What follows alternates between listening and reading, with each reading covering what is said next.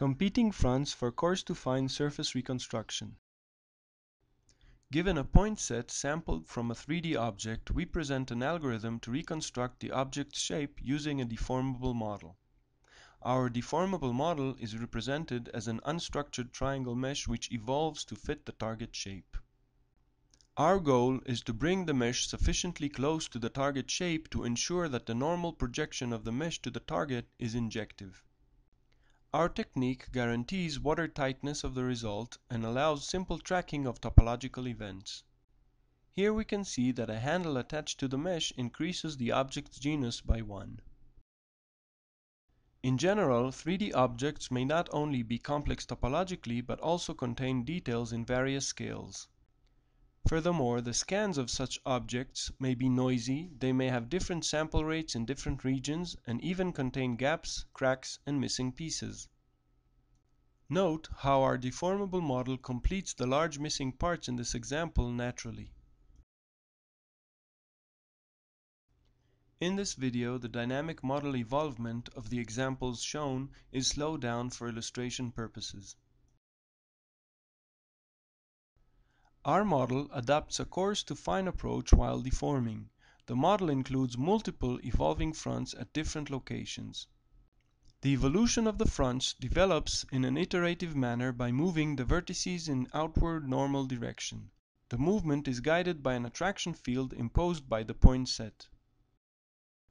In each iteration, new positions for the front vertices are computed by solving a constrained Laplacian system. This keeps the mesh as smooth as possible during its movement. The fronts of our deformable model always march in outward normal direction with a speed defined by the distance value. Thus, they can move uphill as well as downhill passing over local extrema of the guidance field. Such process is demonstrated here where the front is stepping from a blue region uphill into a red region. The coarse to fine approach is realized using multiple competing fronts in different level of coarseness. In this example, the fronts enter and fill broader parts of the foot before the narrow fingers. Each front is assigned a tension factor, refraining or allowing greater adaptivity. Coarse fronts evolve faster than finer fronts, reconstructing coarse features of the shape before the finer ones. This 2D illustration shows how our approach avoids early penetration of the fronts into small tunnels. The two fronts, shown here in orange, compete to penetrate through two different tunnels.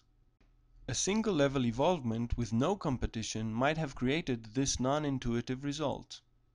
By advancing the coarser front first, our deformable model penetrates the hand first and then completes the reconstruction. Here we show a similar scenario in 3D. Here we compare our method results to the power crust reconstruction. Our method is sensitive to the topology of the object as we can detect topological events. We can thus monitor and control the genus of the results as shown here in the tail of the dragon and in more complex topological shapes. The mesh deformation is combined with a mesh optimization scheme which guarantees high mesh quality.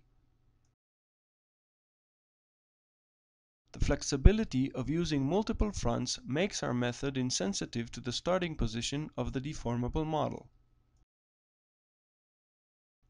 Once the deformable model is close enough to the point cloud, we apply final fitting.